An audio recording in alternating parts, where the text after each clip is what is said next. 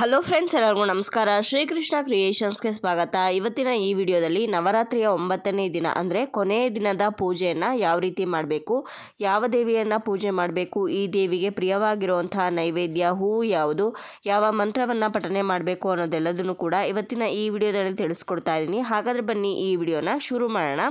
ನವರಾತ್ರಿಯ ಒಂಬತ್ತನೇ ದಿನವನ್ನು ನಾವು ಮಹಾನವಮಿ ಅಂತ ಕರಿತೀವಿ. ಈ ದಿನ ದುರ್ಗಾ ಮಾತೆಯ ಒಂಬತ್ತನೇ ಅವತಾರವಾದಂತಹ ಸಿದ್ಧಿದಾತ್ರಿ ದೇವಿಗೆ ವಿಶೇಷವಾಗಿ ಪೂಜೆ ಪುನಸ್ಕಾರವನ್ನು ನೆರವೇರಿಸಲಾಗತ್ತೆ. ಮಹಾನವಮಿಯನ್ನು ತಾಯಿ ಚಾಮುಂಡೇಶ್ವರಿಯನ್ನು ಮಹಿಷಾಸುರ ಮರ್ದಿನಿ ಅಂತಲೂ ಕೂಡ ಪೂಜಿಸಲಾಗತ್ತೆ. ಪುರಾಣದಲ್ಲಿನ ಕಥೆಯ ಪ್ರಕಾರ ಪಾರ್ವತೀ ದೇವಿ ಸೌಮ್ಯ ಸ್ವಭಾವದ ಹೆಣ್ಣು ಮಗಳು ಆಕೆಗೆ ಕೋಪವೇ ಬರುವುದಿಲ್ಲ. ಆದರೂ ಕೂಡ ಮಹಿಷಾಸುರನ ಮರ್ದನ ಮಾಡೋದಕ್ಕೋಸ್ಕರ ತಾಯಿ ಚಾಮುಂಡೇಶ್ವರಿಯ ಅವತಾರವನ್ನು ಎತ್ತುತ್ತಾಳೆ. ಇನ್ನು ಈ ಸಿದ್ಧಿದಾತ್ರಿ ದೇವಿ ಅವತಾರದಲ್ಲಿ ತಾಯಿಯು ನಾಲ್ಕು ಕೈಗಳನ್ನು ಹೊಂದಿರ್ತಾಳೆ. ಹಾಗೆ ಕಮಲದ ಮೇಲೆ ಕುಳಿತುಕೊಂಡು ಕೆಂಪು ಸೀರೆಯನ್ನು ಉಟ್ಟುಕೊಂಡಿರ್ತಾಳೆ. ನಾಲ್ಕು ಕೈಗಳಲ್ಲಿ ಒಂದು ಕೈಯಲ್ಲಿ ಶಂಖ, ಇನ್ನೊಂದು ಕೈಯಲ್ಲಿ ಚಕ್ರ, ಹಾಗೆ ಮತ್ತೊಂದು ಕೈಯಲ್ಲಿ ಗದೆ, ಹಾಗೆ ಇನ್ನೊಂದು ಕೈಯಲ್ಲಿ ಕಮಲದ ಹೂವನ್ನು ಹಿಡಿದುಕೊಂಡಿರ್ತಾಳೆ. ಇನ್ನು ಈ ನವರಾತ್ರಿಯಲ್ಲಿ ದೇವಿಯು ಒಂಬತ್ತು ಅವತಾರವನ್ನು ಎತ್ತು ದುಷ್ಟ ಶಕ್ತಿಯನ್ನ ಸಂಹಾರ ಮಾಡುವುದೇ ಈ ಹಬ್ಬದ ವಿಶೇಷ. ಪುರಾಣ ಕಥೆಗಳ ಪ್ರಕಾರ ತಾಯಿಯು ಮಹಿಷಾಸುರ ಮರ್ದನವನ್ನ ಮಾಡಿ ವಿಜಯವನ್ನ ಸಾಧಿಸುವಂತಹ ಹಬ್ಬವೇ ಈ ವಿಜಯದಶಮಿ. ಅರ್ಥಾತ್ ಮಹಾನವಮಿ. ಒಂಬತ್ತು ದಿನಗಳ ಕಾಲ ಯುದ್ಧವನ್ನ ಮಾಡುವ ತಾಯಿಯು ಕೊನೆಯ ದಿನದಂದು ಮಹಿಷಾಸುರನನ್ನ ಮರ್ದನ ಮಾಡುತ್ತಾಳೆ. ಹಾಗಾದರೆ ಈ ಸಿದ್ಧಿದಾತ್ರಿ ದೇವಿಯನ್ನು ನಾವು ಯಾವ ರೀತಿ ಪೂಜೆ ಮಾಡಬೇಕು ಅಂತ ನೋಡ್ಕೊಳ್ಳೋಣ. ಈ ದೇವಿಗೆ ಇಷ್ಟವಾಗಿರುವಂಥ ಹೂವು, ನೈವೇದ್ಯ ಹಾಗೆ ಮಂತ್ರ ಯಾವುದು ಅಂತ ತಿಳ್ಕೊಳ್ಳೋಣ ಬನ್ನಿ.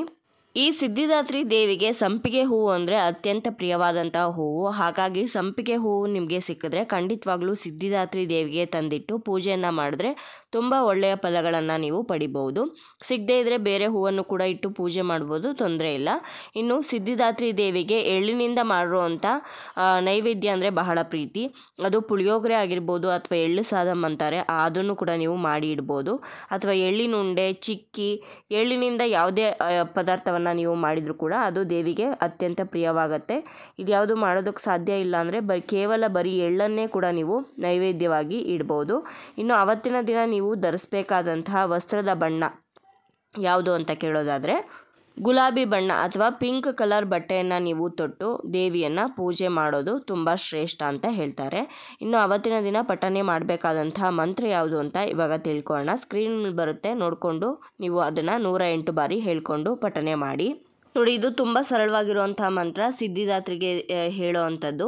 ಓಂ ದೇವಿ ಸಿದ್ಧಿದಾತ್ರಿಯೇ ನಮಃ ಅಂತ ಹೇಳ್ಕೊಂಡು ನೂರ ಎಂಟು ಬಾರಿ ಅರ್ಚನೆ ಮಾಡಿ ಅಥವಾ ಪಠ, ಪಠನೆಯನ್ನು ಮಾಡ್ಬೋದು. ಇನ್ನು ಅವತ್ತಿನ ದಿನ ಮಹಾನವಮಿ ಅಂದರೆ ಆಯುಧ ಪೂಜೆಯೂ ಕೂಡ ಇರುತ್ತೆ. ನಿಮ್ಮ ಮನೇಲಿರುವಂಥ, ನೀವು ಬ, ಪ್ರತಿನಿತ್ಯ ಬಳಸುವಂಥ ಆಯುಧಗಳು ಎಲೆಕ್ಟ್ರಾನಿಕ್ ಐಟಮ್ಸ್ಗಳು ಹಾಗೆ ವಾಹನಗಳನ್ನು ಕೂಡ ನೀವು ಅವತ್ತಿನ ದಿನ ಪೂಜೆಯನ್ನು ಮಾಡಬೇಕಾಗತ್ತೆ. ಯಾವುದೇ ತೊಂದರೆ ಇಲ್ದಂಗೆ ಆ ಉಪಕರಣಗಳು ನಮಗೆ ಸಹಾಯ ಆಗಲಿ ವರ್ಷ ಪೂರ್ತಿ ಅಂತ ಆಯುಧ ಪೂಜೆ ದಿನ ಅವುಗಳನ್ನು ಪೂಜೆ ಮಾಡೋವಂಥದ್ದು. ನೋಡಿದ್ರಲ್ವ ಸ್ನೇಹಿತರೆ, ಇವತ್ತಿನ ಈ ವಿಡಿಯೋದಲ್ಲಿ ಒಂಬತ್ತನೇ ದಿನದ ಪೂಜೆಯನ್ನು ಯಾವ ರೀತಿ ಮಾಡಬೇಕಂತ ತಿಳಿಸ್ಕೊಟ್ಟಿದ್ದೀನಿ. ಈ ವಿಡಿಯೋ ನಿಮ್ಗೆ ಇಷ್ಟ ಆಗಿದೆ ಅಂತ ಭಾವಿಸ್ತೀನಿ. ಇಷ್ಟ ಆಗಿದ್ರೆ ಲೈಕ್ ಮಾಡಿ, ಶೇರ್ ಮಾಡಿ, ಕಮೆಂಟ್ ಮಾಡಿ. ಚಾನಲ್ನ ಹೊಸದಾಗಿ ನೋಡ್ತಾ ಇದ್ದರೆ ಸಬ್ಸ್ಕ್ರೈಬ್ ಮಾಡ್ಕೊಳ್ಳಿ. ಸಿಗೋಣ ಮತ್ತೊಂದು interesting ವಿಡಿಯೋದೊಂದಿಗೆ. Take care bye bye thank you for watching